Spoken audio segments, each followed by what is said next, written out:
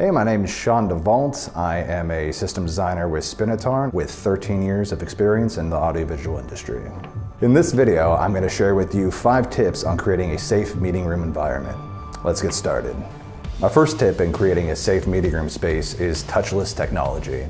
Touchless technology allows ease of use and safety in the workplace. Uh, using occupancy sensors, you can automate the power of the room on and off based on entering and exiting. Uh, this allows you to extend the life of your display, save electricity, and automate your system with no touch.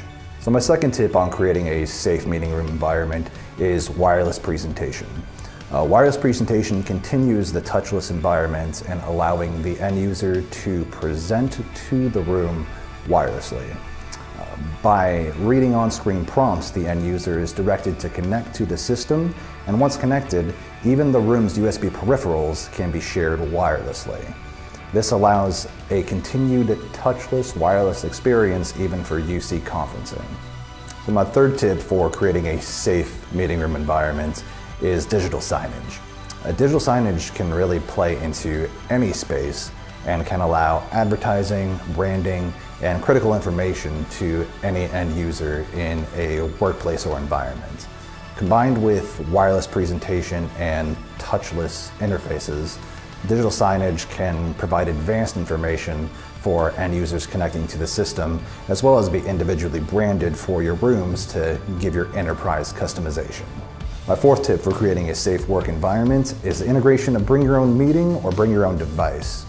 Bring your own device allows the end user to bring in their personal device and connect to the system for presentations. Combined with the previous tips, this can be accomplished wirelessly without any touch or having to interact with the system.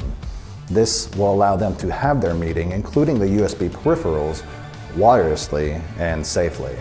The flexibility of bring your own device can individually meet the needs of the end user on any UC platform that they choose.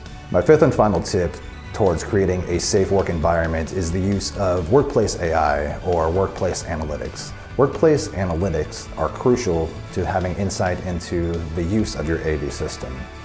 How many people are connecting wirelessly? How many people are connected via wire? How many people are participating in a meeting and show up to that meeting? And is that number more than your social distancing requirements? These insights can be provided by the audiovisual system via workplace analytics. And these analytics can lead to higher productivity and refinement of the AV system in your current and future rooms.